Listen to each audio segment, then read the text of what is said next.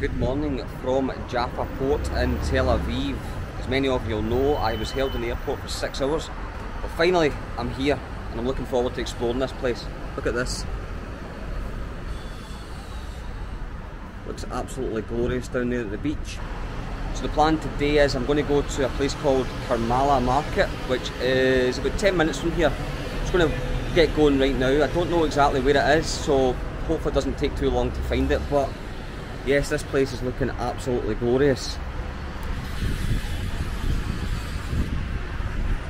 Let's check it out. And we're out on the streets. Let me tell you, it is roasting. But I'm not going to complain about the weather this time because I've just come back from Scotland. And Scotland's a little bit cold. So yes, we're now on the streets. I've been told the market's down this way to the left. I'm not entirely sure. Hopefully, hopefully we can find it. So I got here late last night and I'm staying at a little a little capsule hotel. I was held in the airport for six hours for security reasons. I understand why. Um, it was just obviously a bit of a pain having to go through everything about my previous travel destinations. But we're here now, I'm in, let's do this. So as I was saying guys, the plan was to come here and visit Jerusalem, Bethlehem and the West Bank, but I'm here for a day until I sort out how to get there. There's a train station about 30 minutes from here, which I'm going to look at today. Hopefully it's not too difficult. I think it's about one hour, one hour from here.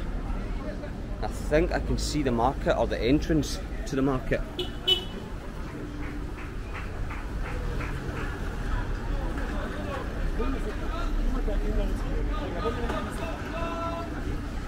Only been out two minutes and I am roasting. Not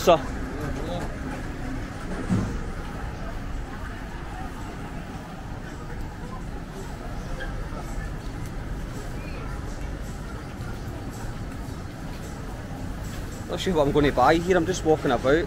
Not had breakfast yet. I've not actually got any shekels on me. I've got US dollars, so I'm hoping, I'm hoping they'll take that.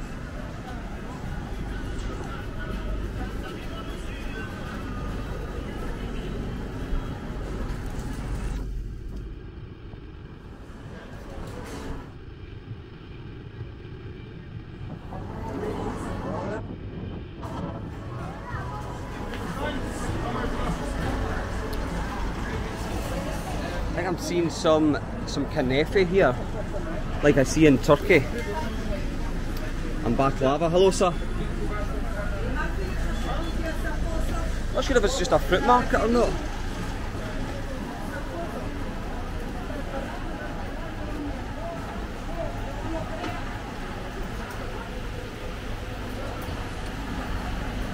Although I'm seeing shawarmas over there, so that could be a shout.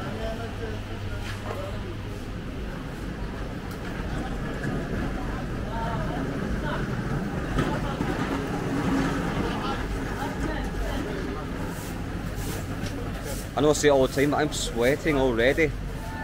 Nobody's broke sweat yet. So last night I was speaking to some Americans, an Austrian, someone from Denmark as well, are all staying at the hotel, which I'm going to do a video on. So I booked a hotel last night because I didn't get out the airport until late. It's a little capsule pod hotel. Pretty expensive, it was uh, 50, 50 pounds for one night for the wee, the wee capsule. Prices here are the most expensive I've experienced travelling so far.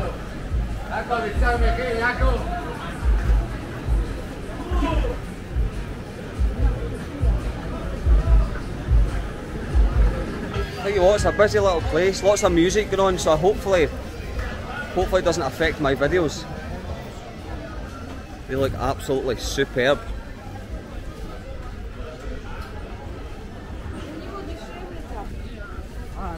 Again, I'm not sure, not sure where I'm going, but I think this is maybe, I was going to say this is the closed bit, but there's more fruit here. So I think it's just a mixture, a mixture of everything really.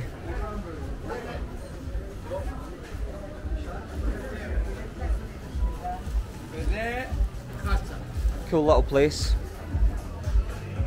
Tell you what, this looks as if it goes on for miles.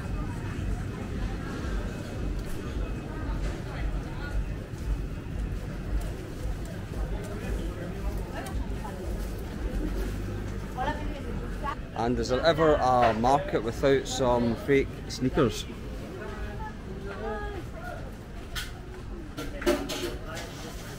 So yes, tomorrow, tomorrow hopefully I can go to Jerusalem. That's the reason I'm here. Jerusalem, Bethlehem and the West Bank. I actually think I see a, a Celtic shirt in there. I'm not sure if it is. I don't know, I could be wrong, it looks like, it looks like a Celtic shirt.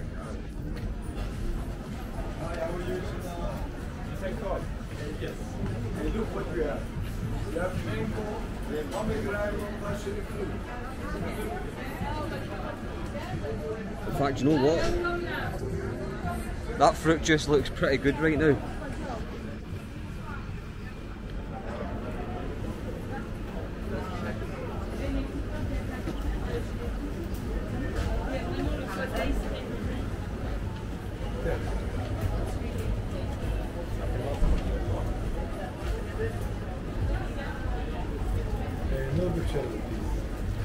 So got myself a little mango, pomegranate and orange juice, but the guy says no filling, which I was pretty surprised about.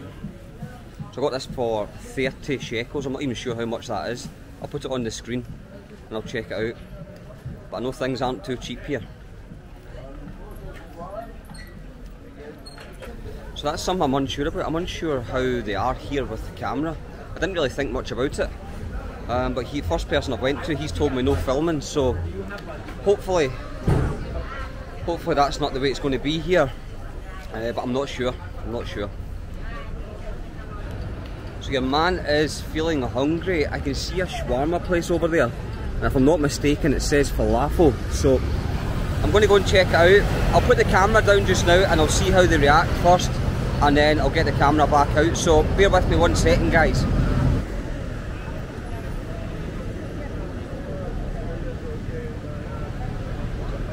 So I went into that place across the road, they didn't want me filming either, so I just walked around the corner and there's a nice little falafel place here. So I've just ordered myself my first falafel here. Looking forward to it. The last falafel I had was... I think I didn't I don't think I had one in Pakistan, I think the last one I had was in Lebanon, I believe. Syria, whatever one was first. So yes, I'm looking forward to it. Your man is hungry. Only the wee sandwich last night. To be fair, the airport, when they held me, did feed and water me. They gave me two sandwiches. Sorry, sir. And some water, so it wasn't all bad. Just to give you an idea of some of the prices here. Yes, please.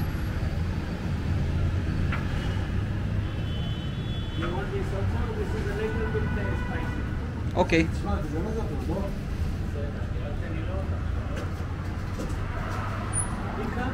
Uh, no thank you. No thank you. Uh, no thank you, no onion.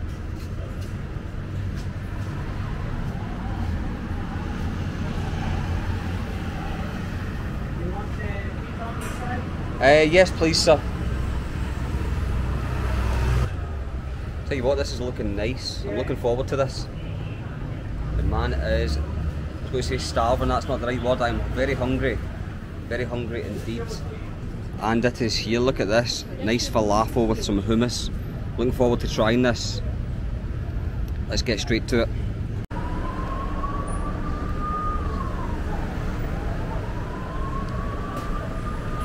Bit of hummus in there guys. And some falafel.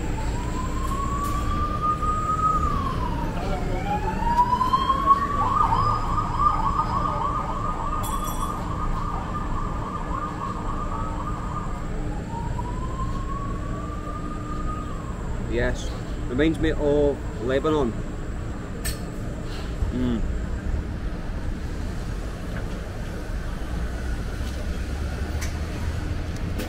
Very nice.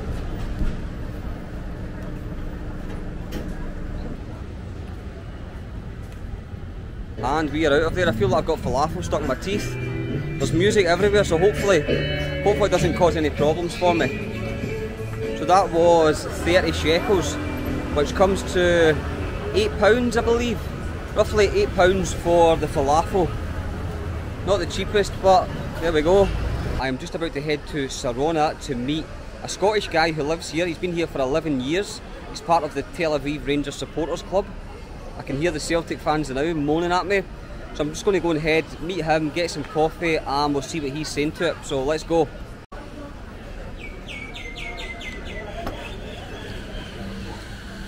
And we are here guys, so we're going to get some coffee and apparently some of the best chocolate you can get here in Tel Aviv. But I've just met up with your man. Hi everyone, I'm Andy. Strange hearing a Scottish accent here, that's for sure. So how long have you lived here? I've lived here 11 years now, uh, so yeah, since 2011. Compared to Glasgow, how is it? Uh, well, I don't want to upset people back home in, in Scotland, but uh, I mean, this is my home now. It's, it's tremendous. Look at the sunshine, mate. Look, Yeah. Sunshine, great food, Yep. Lovely culture. Can't beat it, mate. And one thing I did notice here is the streets are absolutely spotless. More than what I can say for Glasgow at the minute with the strikes going on, but yes, nice place. I'm going to speak to Andy and I'll see you in a minute. Just what the doctor ordered, we've got a nut shaker, which is an iced coffee with what nuts is in it? Pecans. Pecans and whipped cream.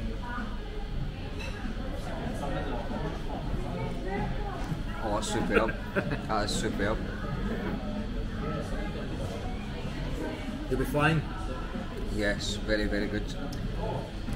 So do you know do you know any more Scottish people that live here or are you just No, there, there is a community. There's um, a few hundred Scottish people here. I'm in touch with maybe about 20, 25. Oh really? My, my brother lives here. Mm-hmm. He lives actually not too far from here in Tel Aviv. Uh, my wife's also Scottish. We came together, and aye, there's people up and down the country. I can even tell you, my uncle moved here in the '60s, and he was originally like a, a kibbutznik, Yeah. which is someone that goes to a kibbutz and sets up all these uh, agriculture and farming and growing of seeds for plants, stuff that you could then sell to to other places in the country. So, Yeah. a lot of- a lot of people So what made you decide to move here? Just decided it felt felt right? Yeah, I mean, I'm from a very small community in Scotland, Jewish community, and uh, always felt a strong attachment to Israel. Uh, and the sun, Yeah. want to live in the sun, good, good food, attractive woman, to a wife. Um, it's just a great way of life. You know, you got the beach, you got lovely places to go and visit. Um, Aye, and to be honest, it's been so long. So Yeah. I've kind of forgotten all the reasons why, but yeah. Yeah. That's- that's the main reason. So there we go, a few hundred Scottish people here. Any Celtic fans for the people watching? I know one One Celtic fan? Yeah, I know one. Uh, I played golf with them a few times, but that's all I'm going to say. I, I try to avoid them. Yeah. Could feel the Celtic fans screaming at me. So yes, a few hundred Scottish people here. So there is a, a small Scottish community there, which I didn't know about. So there we go. And we are out of there. So that was absolutely fantastic. So I'm just going to head to the town of Jaffa. But check this out. This is the tallest building in Tel Aviv. Apparently, I'm taking this man's word for it, so I'm not too sure. It's the, we call it a squiggly building because it's kind of shaped Yeah. squiggly like. But yeah, no, it is the tallest, but that it won't that won't be the tallest for long because you can see around. There's construction absolutely everywhere, mate. Yep, I was uh, saying that earlier. There's lots of construction. Yep. So this is Sarona Market. How long has this been open? A few years now. It struggled at the beginning, but as you can see now, it's quite vibrant. And, uh, Pretty lively. so, like Carib- uh, Caribbean and Hawaiian food. You've got uh, fromageries, bakeries. You've got burger bars. Yep. It- Not the cheapest, but very tasty food in here. Yep. So there we go. Yes, this is Sarona Market. Pretty, pretty loud in here. I don't know. I don't know if you can hear me.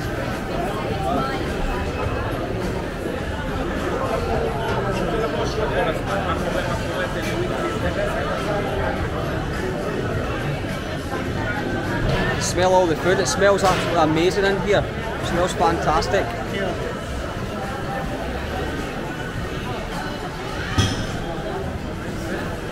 Ah, it's a very, very nice place. Very chilled. Yeah, uh, fish shop and fish restaurant, that's the sort of sister part of it where they serve fish and chips and mushy peas if that's your thing, if you want to take a bit of home. It seems it seems pretty busy today, so we're having a little chat there, and he was saying uh, Friday tomorrow. So he said the Sabbath uh, Starts tomorrow starts afternoon. tomorrow at two o'clock. He said. Yeah, it starts later, but the transport shuts off round about two, so Yeah. So all the transport shuts here at two o'clock tomorrow. Um, so I'll not be going anywhere after after two o'clock. So I'm going to try and get a few places in today, but just a whistle stop tour there. Pretty nice spot. We're just in the car now guys and we're heading to Jaffa. Well I'm heading to Jaffa and your man's going to drop me off thankfully. Motor's just pulled up in front of us but Maccabi Haifa? Maccabi Tel Aviv. Maccabi Tel Aviv. Get it right, sorry. Oh that's like making a big mistake here. Um, it's just through there. I think we might pass it. Uh, we are, yeah, we'll pass it. Um, the stadium is called Bloomfield and uh, renovated two two seasons ago now. It's 30,000, very modern, beautiful stadium. Right, okay, sounds good. So yes, as I was saying, Jaffa is 40% um, Arab, 20% Christian and 40% Jewish. So should be an interesting spot, uh, diverse. Looking forward to checking it out and I'll see you when we get there guys. We're out of the car, so I've just left Andy there. What a nice guy. Good to hear a Scottish accent. I didn't realise there was so many Scottish people lived here. Don't know where I'm going. I'm now in Jaffa. I'm just having a little look, but seen this mosque. It looks absolutely stunning. I wish I'd wore long trousers. Maybe come back and hopefully, hopefully enter. There's lots of little, little off shots here, so I'm not quite sure where I'm going yet. But we'll take a wee look about and we'll check out and see what Jaffa has to offer. So Jaffa Great Mosque.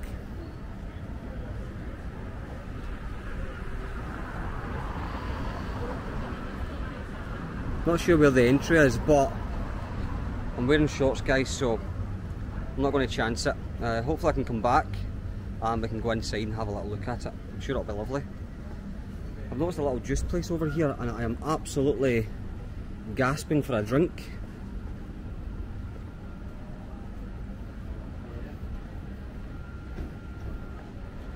Is there yo open, yeah?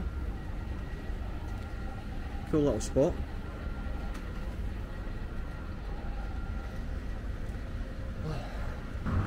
One Fanta procured. I was always wondering, so abroad you always see this little cap on top of the, the cans.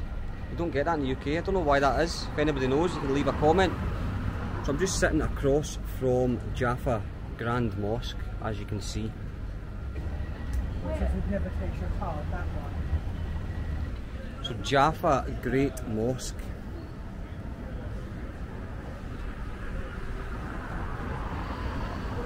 Tell you what, there's a little breeze coming it's well needed, let's say that.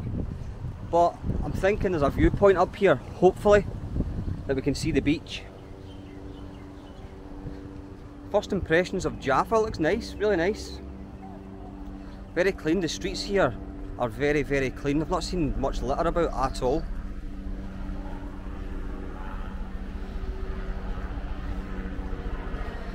I'll see when I get to the top of this hill.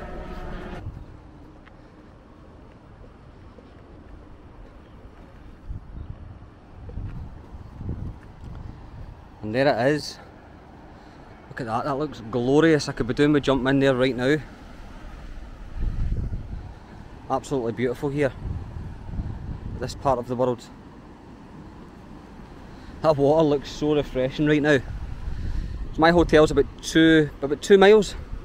Two miles that way. So I think we're going to head that way and walk along the beachfront. Seen a little sign over here though.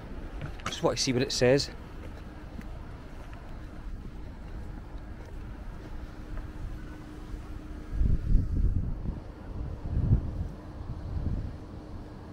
So there's also a flea market back down that hill. I think I'll check out that flea market tonight once I get changed and stuff. I don't know what time it's open till, so I'll check that. But for now, I think I'm going to. I think this is the way. Head down here and walk along the beachfront. I don't know if you can get down this way. Tell you what, that breeze probably isn't good for the camera, but it's certainly good for me. That's for sure. I don't know if you can get access this way. I'm hoping you can.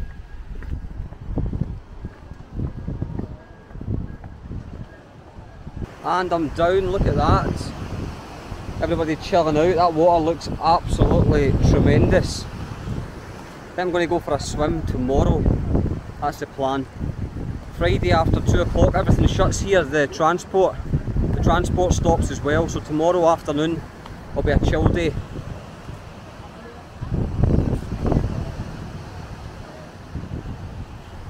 So yes, got about two miles, two miles to go and I'll be back at the hotel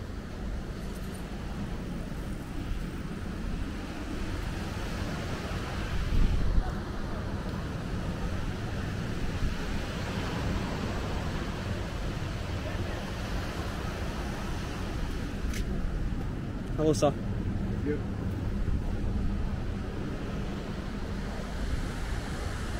Nice place, absolutely beautiful. So I've been trying to film for the past five minutes, but it's just too windy down here. The wind is good for me and terrible for the camera. But such a lovely beach here. It reminds me of Antalya in Turkey, if I'm honest with you. Especially down this part of the beach, you're seeing uh, girls with the hijab, girls just with bikinis, um, a mixture of everything. So, yeah, pretty chilled out spot. And just like that, we're back in the hotel. So that was a pretty good day. Not bad for the first day. But the view here is absolutely incredible. So you can see Jaffa just over there, and that's where we've just walked right up the beach. Pretty windy over there. I wanted to do more filming over there, but it was it was pretty windy. Going to go back to Jaffa tonight, I think, and I don't know if the market's opened, but hopefully grab some food. So stay tuned for the video, and then we'll sort out Jerusalem and the West Bank, and I'll see you tomorrow.